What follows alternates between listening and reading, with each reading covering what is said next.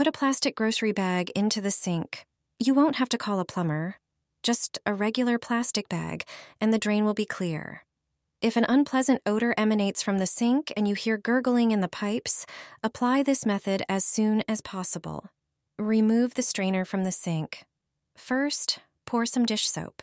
The soap removes grease that accumulates in the drain. There's always a lot of it in the kitchen sink. If you're using this method for the first time, pour quite a bit. There's definitely a lot of grease stuck to the walls of the pipes. Now we'll use a secret white powder. Pour about four tablespoons into the sink. Time for the third ingredient. It's vinegar. Just pour about 200 milliliters into the drain. Immediately, a reaction will occur between the vinegar and the white powder, and foam will quickly start to form. You probably already guessed that the white powder was baking soda.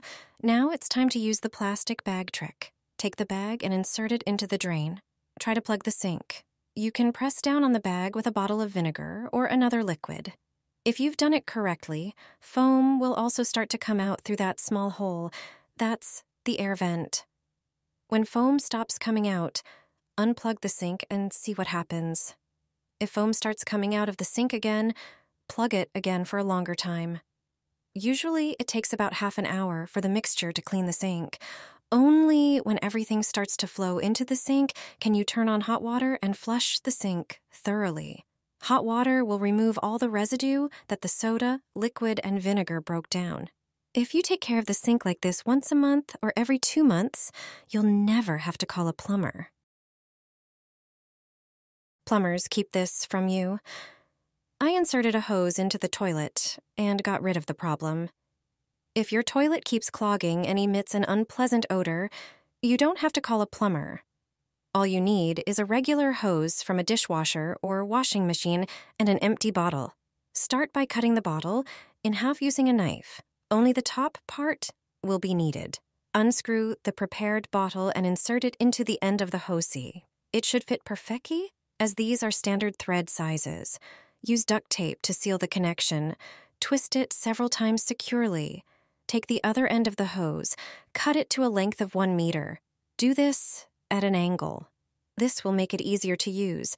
Take the prepared hose to the bathroom. It will come in handy for pushing in deep cleaning pipes. Insert it into the toilet and push it through the drain pipe. Once it's deep enough, stand the bottle upright. Pour a cup of baking soda into it. It has a cleaning and disinfecting effect. Shake the hose to make the powder fall to the bottom, then pour a cup of vinegar into it. It will react with the baking soda, creating a foaming reaction. It will clean the pipe from lime deposits. It will flush out the dirt clogging the drain. The chemical reaction will help eliminate the sludge responsible for the unpleasant odor in the toilet. This action will keep the pipes in good condition for longer, and you won't have to use a plumber's services. After removing the hose, wait for the soda and vinegar to drain into the toilet. Finally, check the water, and you're done. Do you also have a problem with white stains on a black sink? Most people who buy such a sink have no idea how to take care of it. White marks don't come off even after washing with dish soap. But an indispensable solution in such a case turns out to be one inexpensive product. Everyone has it in the kitchen cabinet, and it turns out it should also be next to the sink. Then, white deposits from water will never mar your kitchen. Apply a simple trick, and in a few minutes, you'll get rid of the problem. Here's how to deal with it. Take a bottle of vinegar and pour it into a spray bottle. Then spray the sink surface where there are white spots. Do it thoroughly and generously. Place pieces of paper towel on the damp sink and spray vinegar again. It's important for the paper towels to be completely wet. This way, the vinegar won't evaporate and it will work longer, removing the white spots. Leave the paper for several minutes. In just a few minutes, you'll see that the white marks disappear. After a dozen or so minutes, remove the paper and see the difference. There will be no trace of lime deposits. The black streaks and spots will be a thing of the past, and you can enjoy a perfectly clean black sink. To prevent new white deposits, just spray the sink with vinegar from time to time, and that's it. Good luck. Behind the oven door, there is a hidden button that makes cleaning easier. Most people are unaware of it. Just pull it upwards to release the lock. Repeat the process on the other side. With the doors prepared in this way, they will be easy to remove. Next, grab them and lift them slightly. The hinges should come out on their own. There is a protective plastic on the oven door. Use a screwdriver to pry it open and then remove it. This way, you'll be able to disassemble and clean the glass. Not everyone knows that you can also remove the rack and glass when cleaning. Just pull them towards you with a firm motion. This way, you can thoroughly clean the oven walls. If you don't like scrubbing off burnt grease and food residues, use baking soda.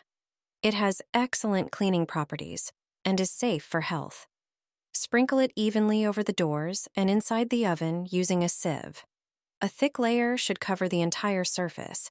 Then, take a paper towel. Spread it in the areas covered with baking soda. Pour a cup of vinegar into a spray bottle. Screw it tightly. Spray the towels generously with it. They should absorb the mixture well. Both substances will react under the towels and start removing burnt food. Leave it all for 15 minutes. After that time, simply remove the towels and wipe the oven with them. All the dirt will stick to their surface, and you won't have to scrub. It can even handle tough stains. Express trick for cleaning the drain. It will thoroughly clean the pipes in 5 seconds. Remove the plug from the drain. Pour in 4 tablespoons of baking soda. Add 1 tablespoon of dishwashing liquid. Then pour a cup of vinegar into it. When the ingredients start foaming, press them with a towel. The foaming will fill the pipes. It will flush out the lime scale and dirt from them. Foam should start coming out of the hole located under the faucet. It will be covered in sludge and rust. This is the fastest and most thorough way to clean the drain. Baking soda and vinegar have descaling and cleaning properties. Apply it to the induction hob. It'll be as good as new without scrubbing. When the induction hob is dirty, there's a simple solution. Stains, streaks, and even burnt spots will disappear as if by magic. Just use two products that you surely have in your bathroom. Take shaving foam and apply it to the induction hob. A few strips are enough. Also, use toothpaste. Squeeze it in a few places. Toothpaste makes cleaning many surfaces easier. It also removes greasy stains and disinfects. This simple trick will deal with dirt on the glass surface of the induction hob. See how easy it is? It looks strange, but it really works. Shaving foam is often recommended for removing various stains. After all, it's a certain type of soap. So, it's perfect for cleaning delicate surfaces. Cover the induction hob with cling film. Do it carefully. Once the film covers the induction, press the foam with toothpaste firmly. These two products will mix and cover the entire surface. Leave the induction hob like this for a few minutes. The foam with toothpaste will work during this time. Then spread the white foam again. Remove the film and throw it away. Collect the rest of the mixture with a paper towel. You don't have to scrub anything. All the dirt will come off with the foam. Finally, wipe the hob dry and it's done. It will be shiny and clean as new. See and evaluate the difference. Shaving foam with toothpaste is indispensable in this case.